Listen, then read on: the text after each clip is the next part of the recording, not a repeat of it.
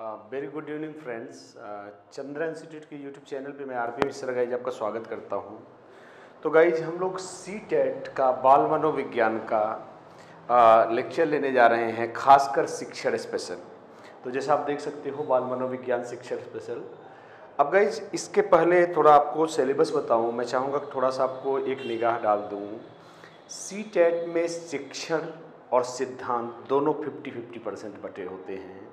सात टॉपिक हैं जो आपको दिखा रहा हूँ। इधर सातों टॉपिक लिखे गए हैं। इनसे पंद्रह क्वेश्चन कवर होते हैं और कमाल के क्वेश्चन आते हैं। कमाल का सब दोस्त मतलब चैलेंजिंग आते हैं, मज़ा आता है, पर इम्पॉसिबल नहीं आते टफ नहीं आते, मुश्किल नहीं आते। क्या होता है कि ज़्यादातर बच्चे डोंट माइंड बुरा मत मानिएगा, पर मैं यहाँ थोड़ा फ्रेंकली बोल रहा हूँ। ज़्यादातर बच्चे इससे यूपी टेट या अन्य राज्यों के टेट के अप्रोच से जाते हैं। इसलिए थोड़ा सा उनको लगता है शिक्षण काफ़ी दुरू है। पर गाइज़ आज डेमो के तौर पे एक लेक्चर आपको भेज रहा हूँ, आपके सामने प्रस्तुत कर रहा हूँ। आप देखोगे कि मज़ा आता है यार, कुछ नया सीखने को मिलता है शिक्षण में। तो एक बार आपको थोड़ा सा टॉपिक दिखा देता हूँ, ये टॉपिक हमारा कैसा रहेगा। तो हमारा पहला टॉपिक है, बच्चे कैसे सीखते हैं? इसमें एक चीज़ छूट गई है, बच्चे कैसे सीखते और सोचते हैं? तथा वो स्कूल प्रदर्शन में क्यों असफल हो जाते हैं? मतलब क्या वजह होती है जिससे एक बच्चा स्कूल के प्रदर्शन में असफल होता है? दूसरा, हमको सिद्ध करना है कि बच्चा एक प्रॉब्लम सॉल्वर है, बच्चा एक समस्या समाधान करता है और यकीन करिए, यह चुटकियों में मतलब एक प्रमेय, जैसे आप पाइथागोरस का प्रमेय हल करते हो वैसे ही सिद्ध होता है। बच्चा एक समस्या समाधान करता है, बच्चा एक छोटा वैज्ञानिक है, ये हमको सिद्ध करना है इस लेक्चर में। और हमेशा इस एरिया से हर साल क्वेश्चन आते हैं और यह एरिया है जहाँ से चिंतन पे प्रश्न आते हैं। चिंतन का अभिसारी, अपसारी बहुत तरह से क्वेश्चन आते हैं। एकदम, देखिए गाइज़ सी टेट में क्वेश्चन रिपीट होगा कि नहीं, ये नहीं जानते। क्वेश्चन भी रिपीट हुए हैं, पर दो, एक बात जो हमेशा पक्की है पैटर्न रिपीट होता है। अपने पैटर्न से बाहर क्वेश्चन नहीं पूछते। और हमको पैटर्न सीखना है क्वेश्चन नहीं।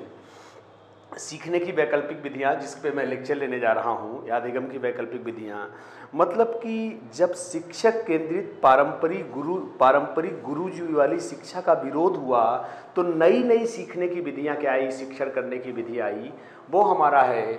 और इधर आएगा, शिक्षण अधिगम की प्रक्रिया, जो टीचिंग लर्निंग प्रोसेस है, वो कैसे काम करता है, उस पर हमें देना है। फिर संवेग और संज्ञान मतलब इमोशंस क्या हैं?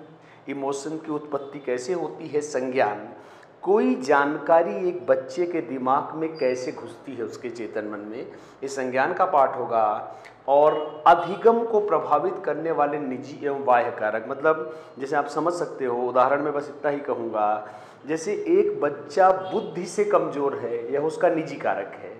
पर एक बच्चे की आर्थिक स्थिति खराब है, गरीबी की वजह से वो नहीं पढ़ पाया तो वह कैसा कारक है? बाह्य कारक है, ये हमको इसमें देखना है। और लास्ट में हमको देना है अधिगम एवं अभिप्रेरणा। मतलब कैसे अधिगम में मदद करता है मोटिवेशन ये हमारा टॉपिक है। और मैं आपको एक इस इस चैप्टर पे, वैसे आपने इसको बीटीसी में पढ़ा है, पर अपने तरीके से पढ़ाने जा रहा हूँ। यह एक ज़बरदस्त चैप्टर है हमारा। और ध्यान से सुनेंगे दोस्त, क्या है इसमें? सुनिए ध्यान से। बाल केंद्रित शिक्षा जब मतलब पुरानी गुरुजी वाली शिक्षा, जिसमें गुरुजी अपने आप को महारथी समझते थे कि मैं ज्ञान की गंगा बहा रहा हूँ, बच्चा इसमें नहाएगा, उसका उद्धार हो जाएगा। समय बीता, लोगों ने विरोध किया और शिक्षक केंद्रित शिक्षा का क्या हुआ? विरोध हुआ तो शिक्षक केंद्रित शिक्षा के विरोध में जो नए आंदोलन आए, सीखने के, अधिगम के, शिक्षण के, जो नए तरीके आए मेरे बच्चों, उन्हीं को हम क्या बोलते हैं? वैकल्पिक विधिया किसकी? अधिगम की, या हम इसको यहाँ पे शिक्षण भी लिख सकते हैं। शिक्षण अधिगम का जो अल्टरनेटिव मेथड्स ऑफ़ लर्निंग और टीचिंग है, उसे हम क्या कहते हैं? अधिगम की वैकल्पिक विधियाँ। तो अब इसमें आपने बीटीसी में पढ़ा है, कुछ इम्पोर्टेंट विधियाँ आपको बताने जा रहा हूँ। तो सबसे पहली विधि।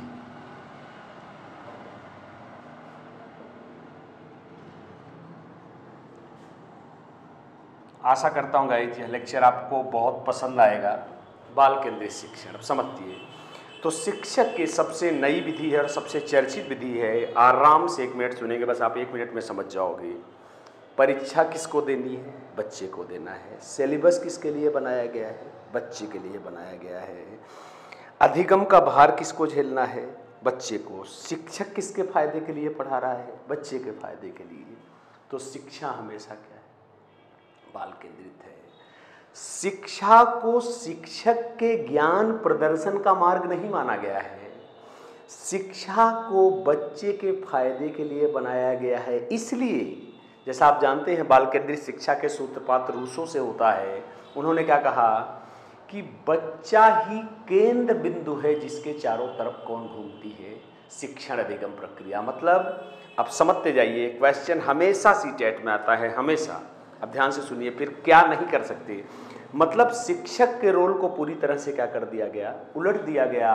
अब प्रधान किसको मान लिया गया? बच्चे को मान लिया गया। तो आप सुनिए, आप क्या नहीं कर सकते? ध्यान सुनिएगा इस ध्यान से मैं यहाँ लिख देता हूँ। तो क्या है बाल केंद्रित शिक्षण में आप क्या नहीं कर सकते? आदि, अंत, शिक्षा का बच्चा है। मतलब शिक्षा की शुरुआत भी विद्यार्थी है और शिक्षा का अंत भी विद्यार्थी है। दूसरा, डांटना, मारना कक्षा से बाहर निकालना।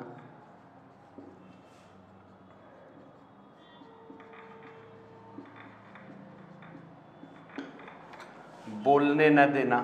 देखिए गाइज़ पूरा सीट एट में रख रहा हूँ। बोलने न देना। आचरण के अंक काटना।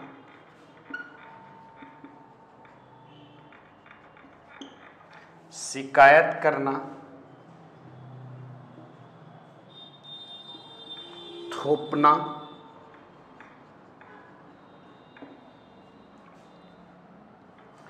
अनदेखा करना, हनन है किसका? बाल केंद्रित शिक्षा का। गाइज़ मतलब क्या हुआ कि अगर आप क्लास में बच्चे को, अब भाई बच्चे का, भाई शिक्षा का केंद्र बिंदु कौन है? बच्चा। तो अब बच्चे को आप डांटते हो, मारते हो, कक्षा से बाहर निकाल देते हो, सारे के सारे ऑप्शन सीटेड में आपको ध्यान रखना है। बोलने नहीं देते हो, आचरण के अंग काट लेते हो, शिकायत करते हो, या अपनी राय टीचर के तौर पे ज़बरदस्ती बच्चे पे थोप रहे हो, या उसका अनदेखा कर रहे हो, ये सब का सब हनन है किसका? बाल केंद्रित शिक्षा guys I hope you understand तो गाइज़ लास्ट में निष्कर्ष निकल के क्या आया? तीसरा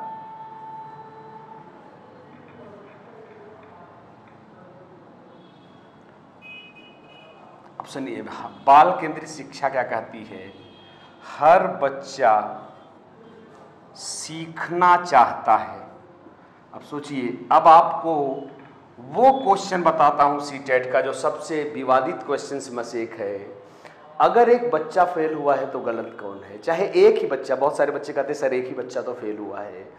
चाहे एक भी बच्चा फेल हुआ है तो गलत कौन होगा? या तो सिस्टम गलत होगा? आई I मीन mean, पूरी की पूरी व्यवस्था फेल होगी, क्योंकि शिक्षक भी व्यवस्था का पार्ट है। जैसे, भाई, हम उत्तर प्रदेश सरकार के शिक्षक हैं तो भाई, व्यवस्था के रूप में शिक्षक भी आ गया।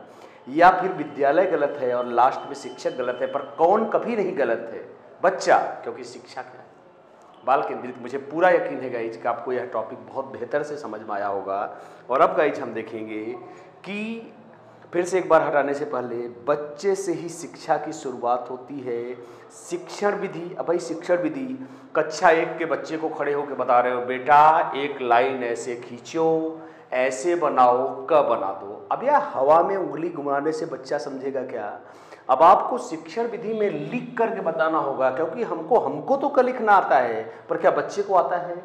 अब उसको साफ़ सुथरा दिखाई ही नहीं देगा तो भैया कहाँ से कर लिखेगा? तो आप ही देखो, शिक्षा क्या बनी? बाल केंद्रित बनी। I hope guys you understand it totally तो ठीक है गाइज़ ये हमारी पहली विधि थी, जो नई विधि में एक है।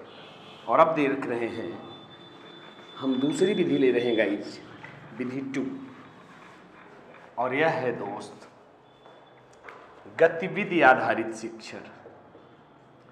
गतिविधि आधारित शिक्षण। या अधिगम, जो भी आप समझ पाओ अर्थात गाइस शॉर्ट में इसका दूसरा नाम है पूरा एनसीएफ 2005 इससे भरा हुआ है गाइस पूरा एनसीएफ 2005 सुनिए क्या कहता है। किताबों से दूर ले जाएँ शिक्षा को। रटंत ज्ञान शिक्षा नहीं है। इतनी मोटी मोटी किताबें पाठ्यक्रम में रख देना शिक्षा नहीं है। शिक्षा का उद्देश्य बच्चे को करके सिखाना है। एनसीएफ 2005 की का एक एग्ज़ाम्पल कोट करता हूँ, ध्यान से सुनिएगा। एक शिक्षक एक बच्चे को द्रव पढ़ा रहा है। क्या पढ़ा रहा है? द्रव पढ़ा रहा है। अब लिखवा क्या रहा है कि बच्चों, द्रव को जिस बर्तन में रखते हैं, वह उसी का रूप क्या करता है? ग्रहण कर लेता है। क्या बच्चा इसे सीख पाएगा? मतलब वो ये सीखना चाहता है कि द्रव का कोई रूप नहीं है। जिस बर्तन में द्रव को डालेंगे, द्रव ऐसा ही दिखेगा। गाइज़ हमें ऐसा नहीं पढ़ाना चाहिए। एन सी 2005 कहता है कि हमको एक ग्लास ले आइए, एक कप ले आइए। ग्लास में पानी डाला। अभी बच्चा क्या देख रहा है कि जब ग्लास में पानी रहता है तो ग्लास जैसा दिखता है। अभी उसी पानी को कप में डाल दिया। अभी वो क्या दिखता है कि कप जैसा दिखता है पानी जो पहले ग्लास जैसा दिखता था। अब इससे तीन फ़ायदे हुए। एक तो उसको मज़ा आया। जब कोई गतिविधि बच्चा करता है तो बिज़ी रहता है। वो अधिगम के दौरान सक्रिय रहता है। एक तो उसे मज़ा आता है। दूसरा काम क्या है कि वो करके सीख रहा है। यह किताबी ज्ञान पे भारी पड़ेगा। इसलिए यह शिक्षण विधि क्या कहती है कि बच्चे को करके सीखने पे ज़ोर दे। अर्थात क्रियात्मक विधि से बच्चे को सिखाया जाए दोस्त। यह क्या कहलाता है? गतिविधि आधारित शिक्षण या देखिए गई जिसके दो फ़ायदे हैं। पहला, अधिगम के दौरान बच्चा भाई किताब से नहीं पढ़ेगा, व्यवहारिक ज्ञान प्राप्त करेगा। ऊपर से शिक्षक नहीं सक्रिय रहेगा। अधिगम के दौरान खुद बच्चा सक्रिय रहेगा मेरे दोस्त। और इससे बेहतर सीखने का कोई भी तीसरा तरीका नहीं है गाइज़ और आप भी जानते हो।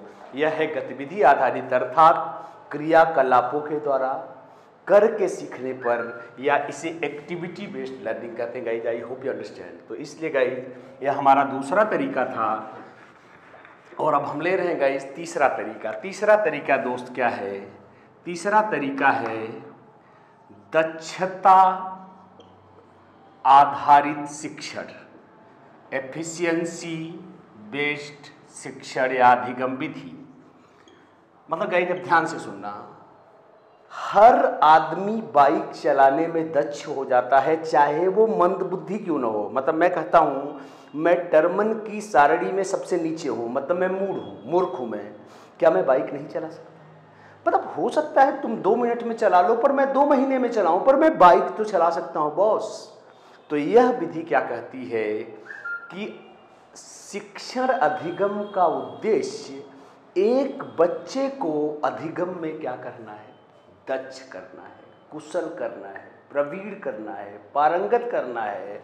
अर्थात अधिगम का उद्देश्य किताबें पढ़ाना नहीं एक क्लास से दूसरे क्लास में भेजना नहीं, ढेर सारे मार्क्स देना नहीं, बल्कि जिस एरिया में एक विद्यार्थी अधिगम कर रहा है, उस एरिया में उसको प्रवीण बनाना है। भले वक्त लगे, भले वो स्लो लर्नर हो, भले वो धीमा अधिगम करे, पर वो दक्ष बन तो सकता है। यह उद्देश्य होना चाहिए किसका? शिक्षण का। यह क्या कहता है? दक्षता आधारित अधिगम। मुझे यकीन है, गाइज़, आप इसे समझ पाए हैं। एक अधिगम का उद्देश्य बच्चे को संबंधित अधिगम के क्षेत्र में प्रवीण बनाना है, कुशल बनाना है, पारंगत बहाना है बनाना है, महारथी बनाना है। भले कोई बच्चा दो दिन में बने, कोई बच्चा दो महीने में बने, पर जैसे आप दो दिन में बाइक सीखते हो, एक आदमी दो महीने में सीखता, पर सीखते दोनों लोग हैं। सिमिलरली समय का बाउंडेशन नहीं होना चाहिए, कक्षाओं का बाउंडेशन नहीं होना चाहिए। बच्चे को तब तक अधिगम प्रदान करना चाहिए जब तक वो समस्या समाधान में क्या हो जाए। दक्ष यह है दक्षता आधारित अप्रोच और अब आएँगे गाइज़ हम। चौथे अप्रोच पे। और चौथा अप्रोच है निदानात्मक, उपचारात्मक शिक्षण विधि। क्या दोस्त, मज़ा आता है इसको पढ़ाने में। मतलब बुद्धिमत्ता कूट कूट के भरी है। अब समझते गाइज़ मैं एक निर्बुद्धि बच्चा हूँ। मेरा दिमाग बहुत कमज़ोर है। ठीक है भाई, मैं हर साल थर्ड डिवीज़न आता हूँ। राम टॉप करता है क्लास में। मैं टॉप नहीं कर सकता, पर अगर मैं थर्ड डिवीज़न पास हो रहा हूँ तो वह लक्ष्य तो मुझे प्राप्त करना चाहिए। मतलब मेरी क्षमता के अनुरूप तो मुझे कम से कम कार्य करना चाहिए। अगर मैं क्षमता के अनुरूप भी काम नहीं कर पा रहा हूँ तो यह चिंता की बात है। और गाइज़ जैसे अब सुनिए क्या है यह शिक्षण विधि?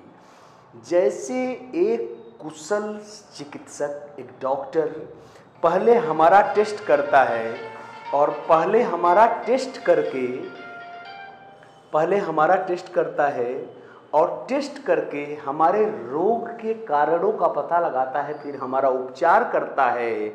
वैसे ही एक शिक्षक को अधिगम के दौरान एक विद्यार्थी की रिक्तियों, त्रुटियों का पता लगाना चाहिए और उन त्रुटियों का पता लगा के मेरे दोस्त, उसे वह उपचार देना चाहिए ताकि वह क्षमता, मैंने नहीं कहा भाई मैं टॉप कर दूँगा, अगर मैं बुद्धिहीन हूँ निर्बल बुद्धि का बच्चा हूँ तो मैं कभी टॉप नहीं कर पाऊँगा। पर निर्मल बुद्धि में जो मुझसे आशा की जाती है कम से कम मैं वो तो कर पाऊँगा। तो विद्यार्थी के अब सुनना। इस शिक्षण विधि का उद्देश्य है विद्यार्थी के अधिगम की कमियों के लक्षणों को पहचानना और सुचारू रूप से उसे आगे बढ़ाना। क्या थोड़ा समय ये वक्त है?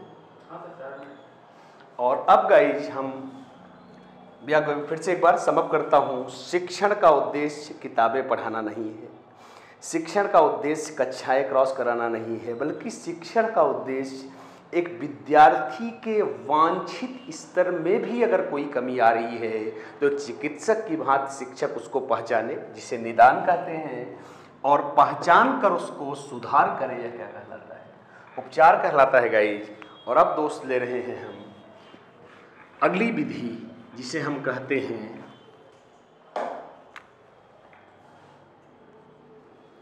सहगामी शिक्षण क्या तरीका है दोस्त?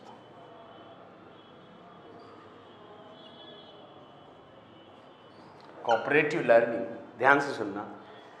शिक्षण अधिगम की प्रक्रिया एक तरफा नहीं है। अकेले शिक्षक के बच्चा बेचारा दुबक के बैठा है।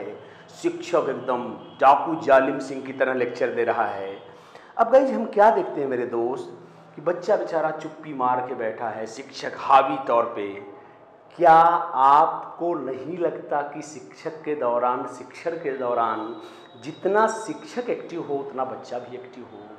तो शिक्षण के दौरान दोनों पार्टियों का रेडी होकर शिक्षण अधिगम की प्रक्रिया को पूरा करना क्या कहलाता है? सहगामी का अर्थ है जो साथ साथ जाए। मतलब शिक्षण के दौरान विद्यार्थी शिक्षक बोले, विद्यार्थी फीडबैक के रूप में प्रश्न पूछे या विद्यार्थी से शिक्षक पूछे बीच बीच में विद्यार्थी भी अपनी राय देता रहे, शिक्षक कुछ गतिविधियाँ बता दें, शिक्षक के निगरानी में बच्चे काम कर रहे हैं, खुद से सीख रहे हैं दोस्त, वह क्या कहलाता है? सहगामी शिक्षण, जैसे, एकदम से। जैसे कम्युनिकेशन संप्रेषण दो तरफा प्रक्रिया है। भला मैसेज भेजने का मतलब क्या रह जाएगा मेरे दोस्त?